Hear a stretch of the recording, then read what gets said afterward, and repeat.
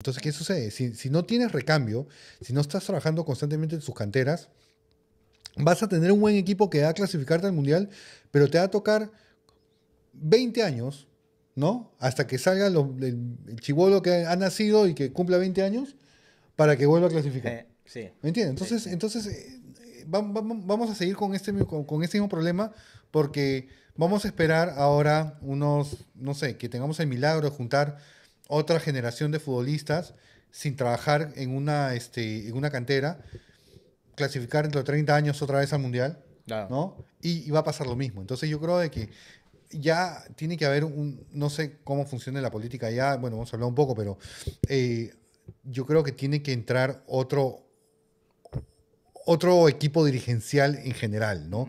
Tienen que, que venir con otras ideas, ¿no? Eh, está el talán que Pizarro está interesado en, invertir, en claro, regresar en la claro. federación. Y para, para mí sería una buena opción.